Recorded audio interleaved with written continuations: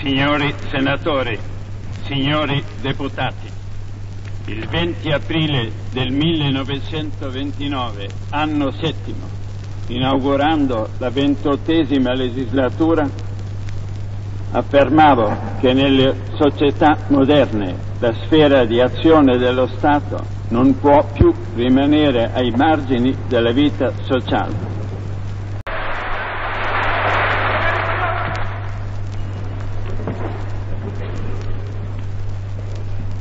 I quadri devono avere una solida preparazione dal punto di vista professionale e devono essere animati dal fervore che è proprio della gioventù e di questo tempo fascista.